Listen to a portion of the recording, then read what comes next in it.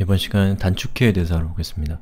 이 단축키라는 것은 이 Sublime Text를 이 키보드로 제어하는 기능이고요. 이 Sublime Text는 거의 모든 기능을 키보드로 어, 제공을 하고 있고요. 또 여러분이 직접 이 단축키를 정의해서 사용할 수 있는 이 독특한 이 방식을 제공을 하고 있기 때문에 여러분이 자신의 습관에 맞게, 환경에 맞게 단축키를 정의해서 Sublime Text를 사용할 수가 있습니다. 또한 이 VI VI 아시죠? VI라고 하는 에디터가 가지고 있는 단축키를 기본적으로 제공하고 있기 때문에 이러한 것들을 조합해서 사용하면 아주 높은 생산성을 유지할 수가 있게 됩니다. 자, 우리 생활 코딩의 이 Sublime Text 수업 중에 VI라고 하는 항목을 보시면 이 VI에 대한 수업도 나와 있으니까요. 이 Sublime Text 안에서 VI라는 에디터를 사용하는 방법에 대해서도 예, 보실 수가 있습니다. 자 그리고 기본적으로 Sublime Text가 제공하는 단축키에 대한 리스트는 여기 있는 링크를 보시면 여기에 잘 나타나 있으니까요. 여기 있는 내용을 참고하시고 여기 있는 내용 정도는 여러분들이 알고 계시면 훨씬 더 어, 효율적으로 코딩을 할 수가 있을 겁니다. 자 그리고 뭐 대부분의 프로그램들이 마찬가지이겠지만 이 Sublime Text도 이 메뉴에 보시면 이렇게 단축키가 각각의 항목마다 정의가 되어 있습니다. 그래서 여기 있는 내용을 보시면 이 각각의 기능들, 또 명령들이 어떤 단축키를 가지고 있는가를 볼 수가 있으니까요. 여러분이 직접 아까 같은 그런 표를 보지 않고도 여기 있는 것들을 반복적으로 열람하는 걸 통해서 단축키를 손에 익히시길 바랍니다. 자, 이번 시간에 우리가 중점적으로 살펴볼 것은 사용자 정의 단축키입니다. 사용자 정의 단축키라는 것은 자기 입맛에 맞게 단축키를 정의하는 기능인데요. 예, 그것에 대해서 중점적으로 알아볼 겁니다. 자, 사용자 정의 단축키를 어, 세팅을 하기 위해서는 우선 Preference라고 하는 메뉴를 클릭하시면 자, Key Bindings라고 하는 것이 디폴트와 user로 구분되어 있습니다. 자, 이 중에서 디폴트 같은 경우는 기본적으로 Sublime Text에 정의되어 있는 단축키 즉 빌트인 되어 있는 단축키입니다. 요거는 여러분이 세팅한 것이 아니라 이 Sublime Text를 만든 개발자들이 세팅해서 제공을 하는 겁니다. 여기 있는 내용을 바꿔서 여러분들은 기본적으로 Sublime Text가 가지고 있는 단축키를 변경할 수가 있게 되는 거죠. 자, 그 다음에 이 밑에 보시면 user라고 하는 것이 있습니다. user라고 하는 것은 여러분이 직접 사용자 정의 단축키를 지정할 수가 있는 건데요. 여러분은 디폴트라고 하는 파일도 직접 수정할 수가 있습니다. 그렇게 되면 이 기본적인 단축키 정의를 변경할 수 있고 동시에 여러분이 쓰고 있는 그 컴퓨터에 로그인되어 있는 모든 사용자에게 적용되는 이 단축키를 지정할 수가 있게 됩니다. 유저 파일을 정의를 하게 되면 어, 현재 로그인되어 있는 사용자에게만 적용되는 단축키를 지정을 할 수가 있고요. 여러분이 단축키를 지정한다면 디폴트 파일을 수정하는 것보다는 이 유저 파일을 수정하는 것이 권장됩니다.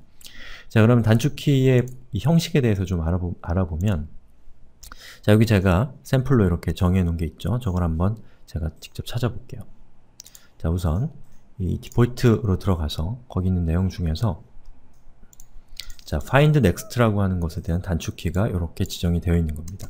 자, 그럼 이 단축키의 이 내용이 어떻게 되어 있는지를 한번 살펴보면 자, find next가 무엇인가 커맨드에 그건 뭐냐면 예를, 예를 들어서 여러분이 무언가를 찾는다 find next라고 하는 텍스트를 찾는다고 하면 이 패널이 열려있는 상태죠. find next 즉 현재 찾고자 하는 것에서 enter 이 패널이 열려있는 상태에서 또 여러분이 이 패널에 포커스를 맞추고 그리고 이 상태에서 엔터를 치게 되면 어, 현재 이 창에 입력되어 있는 find next라고 하는 저 텍스트를 순차적으로 찾아주게 되는 거죠.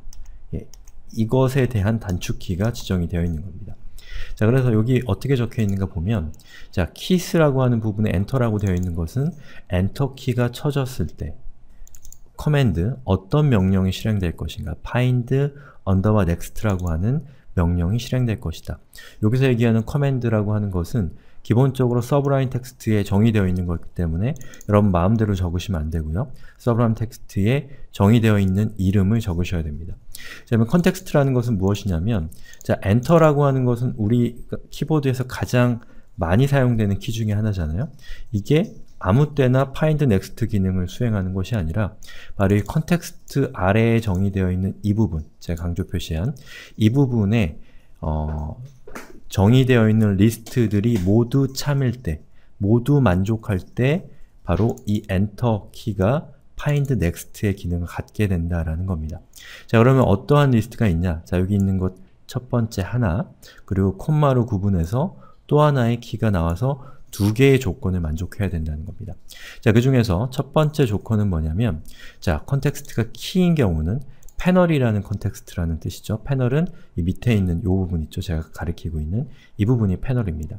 그리고 이 패널이 현재 find라고 하는 형식의 패널이 열려있는 경우라는 뜻이고요. 이, 이것을 만족시켜야지만 find next가 엔터 키를 넣, 쳤을 때 실행이 된다는 거죠. 그리고 또 context가 하나 더 있죠. 패널 has focus, 즉 이 패널이, 현재 열려있는 이 패널이 포커스, 즉 사용자가 여기 있는 요 find underbar next라는 곳에다가 클릭을 해서 커서를 이곳에 위치시켰을 때 패널 has focus라고 하는 조건을 만족시키면서 이 두 개의 조건이 만족됐을 때 엔터 키를 누르면 find next가 실행이 된다라는 뜻입니다. 자, 그래서 여기 참고 링크 있죠? 이 링크를 클릭해서 들어가 보시면 예, Sublime Text의 매뉴얼 페이지로 이동을 하는데요. Key Bindings라고 하는 그 우리가 지금 살펴본 내용에 대한 이 공식 문서입니다. 거기를 자세하게 보시면 제가 설명드린 것들에 대해서 자세하게 설명이 되어 있습니다. 여기 영어라서 조금 어렵게 느껴질 수가 있는데 제가 설명드린 걸 보고 여기 있는 내용을 보시면 대충 어떤 내용인지 이해가 갈 테니까요. 이걸 보시고 이 자신의 습관, 자신의 어떤 취향에 맞는 이 개발 환경을 구축하시길 바랍니다.